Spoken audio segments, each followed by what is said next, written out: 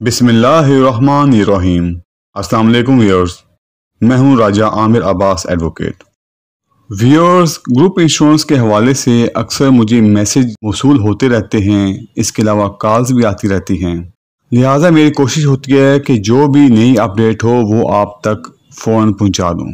Group insurance के हवाले से सुप्रीम कोर्ट का जो एक बहुत बड़ा फैसला आया था इस फैसले पर इम्प्लीमेंटेशन के हवाले से मुख्तलिफ़ हाई कोर्ट्स में रिट्स दायर की गई, जिसमें लाहौर हाई कोर्ट में भी रिट्स दायर की गई। इसके अलावा Lahore high court Multan bench में भी रिट्स दायर की गई। जो मुल्तान बेंच में रिट दायर की गई थी सरकारी मुलाजमीन की तरफ़ से, उसका फैसला सरकारी मुलाजमीन के हक में आ चुका था। वो फैसला ये था कि सुप्रीम कोर्ट ऑफ़ पाकिस्तान के फैसले की रोशनी में तमाम सरकारी मुलाजमीन को ग्रुप इंश्योरेंस की रकम अदा की जाए।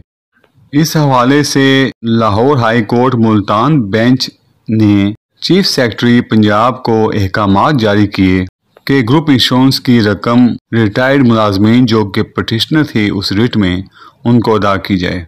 लेकिन आज छः माह का अरसा गुजर गया है, अभी तक मुल्तान बेंच के अहकाम पर अमल दरामद ना हो सका। लिहाजा मुल्तान बेंच के ऑनरेबल जस्टिस जनाब मुजम्मल अख्तर शबीर साहब ने चीफ सेक्रेटरी को तेरह अक्टूबर 2020 को तलब कर लिया है तोहन अदालत के केस में। ताकि वह जवाब पेश करें कि क्यों ग्रुप इंश्योरेंस के हवाले से जो आर्डर हो चुका है उस पर अमल दरामद नहीं किया गया। लिहाजा तेरह अक्टूबर 2020 को पता चलेगा कि चीफ सेक्रेटरी साहब हाई कोर्ट मुल्तान बेंच में क्या जवाब पेश करते हैं? इसके अलावा सरकारी मुलाजमीन की तरफ़ से लाहौर हाई कोर्ट लाहौर में रेट चल रही हैं, जिनकी उम्मीद है इसी माह में पेशी पड़ जाएगी।